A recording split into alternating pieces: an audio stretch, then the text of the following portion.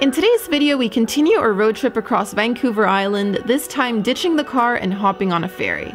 Our destination, Alert Bay on Cormorant Island to explore the town, see totem poles, and learn about the Nimpkish First Nation.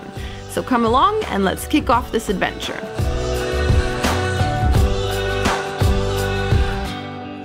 Well, good morning, guys. Good morning, and guys. Welcome back Morning. to Port McNeill. We Yeah. are going on a little excursion today. Yeah, we sure are. We bought tickets to go to Alert Bay on the ferry. We're gonna go BC spend ferries. the day there. So uh, fantastic price. The tickets were only ten dollars per person. Return. Return. Yeah, it's a lot cheaper than Yeah. we were expecting. It's about a 50-minute ferry ride, I Yes, believe. almost an hour each way. Yeah, Yeah. and my dad brought his binoculars Yeah. I'm just hoping in case. I'm hoping to see an orca or some sort of a bigger whale, maybe. yeah. That would be just beautiful, Mm-hmm. but uh, you never know. You never know. Good to be prepared. Yeah. You know what they say: a man that is prepared is worth two men. So, okay, yeah, and once we get to Alert Bay, we want to visit the Umista Cultural Center. Yes. and Yeah. also see the totem poles and the burial ground. Those are two musts. Maybe Yeah. some hiking as well if time allows. All right, so now we're gonna go get on the ferry. We need to walk down to the port. The passengers are heading that way, so let's go. Let's, Let's go. go.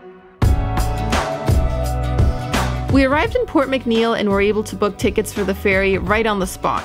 It was the end of the tourist season, plus it was also a rainy day, so there weren't too many day trippers. Now, as a travel tip, there are six sailings a day from Port McNeill to Alert Bay, but it's important that you check the schedule on the BC Ferries website since there is the occasional cargo only sailing, plus another one that makes an additional stop in nearby Sointula.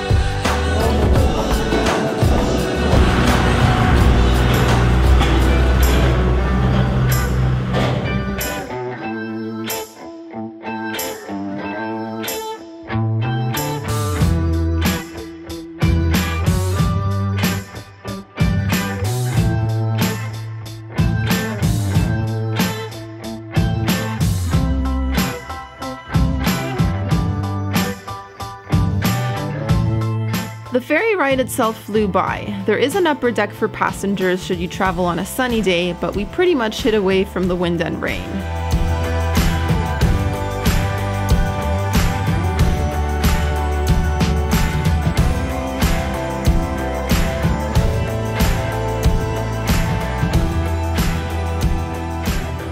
Well, guys, we've just arrived in Alert Bay as it starts to rain. Sam says this isn't rain because he's from the island and apparently it can come down like pouring buckets. This is light drizzle. Um, but yeah, there's a few places we want to hit up. First up, we're gonna go visit the totem poles and the burial ground.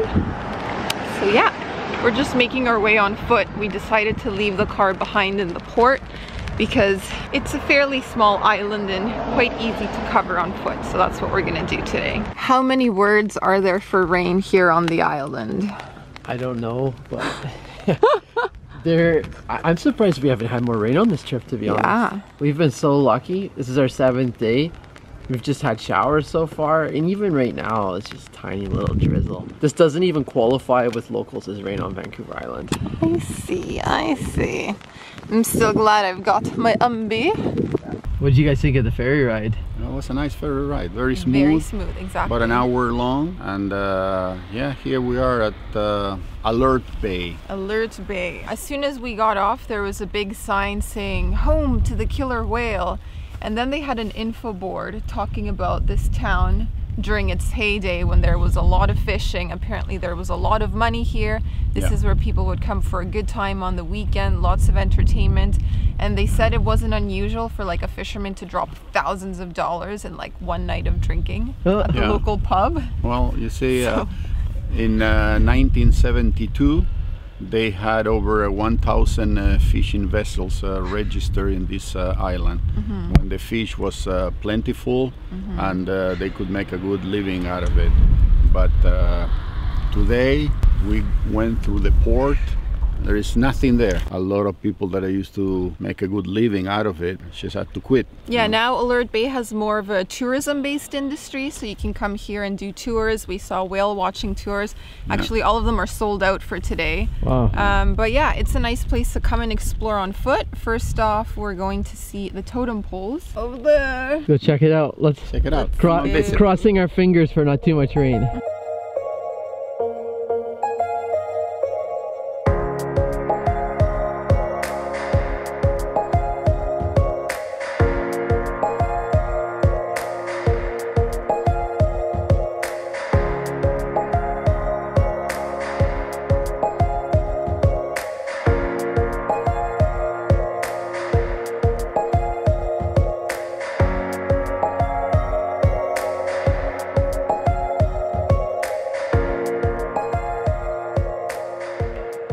Okay, where are we? So we've just been walking around the town for a little bit, kind of walking along the water. Our first stop of the day here is at the Namgis Burial Grounds. This is the, uh, it's like a cemetery and uh, the graves are marked with the totem poles. And you see we cannot walk in there because it's uh, disrespectful, of course. So we can only view from outside the, the area. And as you're gonna see on the videos, there are some totem poles that are nicely painted, but some other ones are uh, kind of uh, uh, and this is done on purpose by the, each individual family. Some believe that uh, once the totem pole has fallen down the spirit of that person that is buried here has left the place.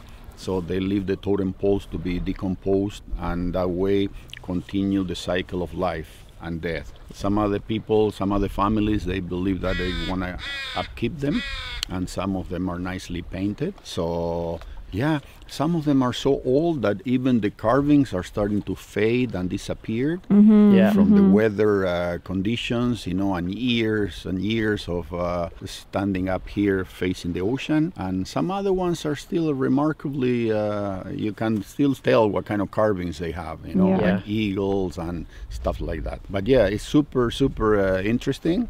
And something else we should mention about Alert Bay is that it's so small that you can walk the entire island. You can you don't need to bring your car here. You can come as a passenger on foot, like what we did on the ferry. Yeah. And it's accessible to walk the whole island Yeah, in a few hours. That's what we're gonna do. Yeah, we're gonna do. Now we did one side, now we're gonna go the other way. Yep. and check out uh, what else is there to see.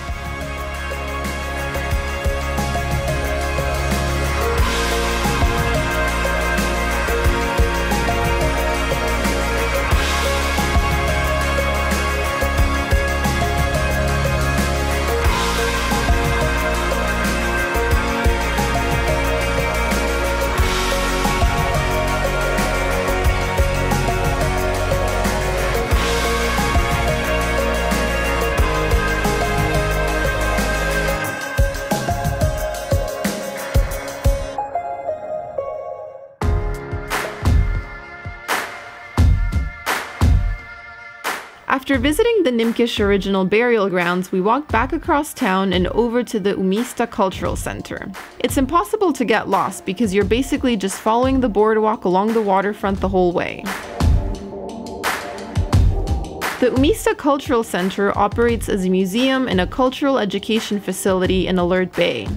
It was founded in 1980 as a project to house potlatch artifacts which had been confiscated by the Canadian government during a period of cultural repression in the 1920s. But first, we need to explain the potlatch. Potlatch means to give, and for the Kwakwaka'wakw peoples of the Pacific Northwest coast, the richest and most powerful person was the one who gave away the most. The potlatch is a gift giving feast held on the occasion of births, deaths, adoptions, weddings, and other major life events. Today, the Umista Cultural Center houses many of the repatriated artifacts and ceremonial regalia associated with the potlatch. It was the return of these items that gave the center its name, since Umista means the return of something important. No filming or photography is allowed in the hall that houses the potlatch items, but trust us, this is the one place you have to visit if you come to Alert Bay. As you already know, we were using the Trover app to document the places we visited, so you'll find the Umista Cultural Center on our list. Another site we couldn't miss is the biggest totem pole in the world. The totem stands 173 feet tall and is located directly in front of the big house where visitors can watch traditional dances and performances on Thursdays, Fridays, and Saturdays during the months of July and August.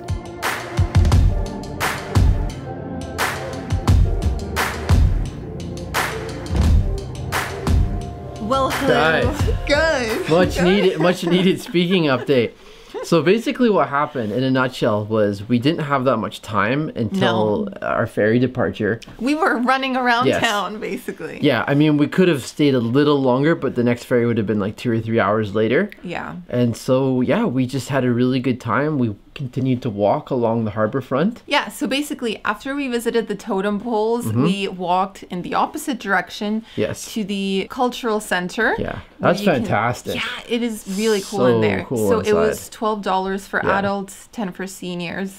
And they had like cool masks and Yes, more carvings. totems and carvings, lots of art Yeah. and handicrafts. It was really interesting. it was So- the, the one area where we weren't able to film was the most interesting I know that was the best part where they have But- all their ceremonial masks. You're not allowed to film that, but it's honestly the most impressive part. Yes, so that's at the very that's the far end of the museum, and yeah, you could easily spend quite a bit of time there if you were to Mm-hmm. go through and, and read every exhibit. Afterwards, we walked up to the big house, Mm-hmm.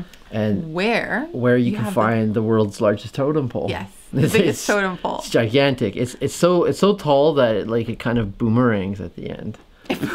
No, really, like it kind of just bends off into the distance. It's it's held down with cables so Yes. it doesn't topple over. I would say we saw quite a bit considering how much Yeah. time we had in Alert It's Bay. we we did more of a half day. We kind Mm-hmm. of arrived later in the morning, but if you wanted to have a bit more time Mm-hmm. to spend at the museum and also to do the hike, I'd suggest turning into a full day. Maybe Yeah. catch the first ferry or one of the first two ferries. Yeah, it was just a fantastic trip though. I, I'm really glad we went there. It's just one of the more interesting places we Mm-hmm. visited on our entire time in Vancouver Island.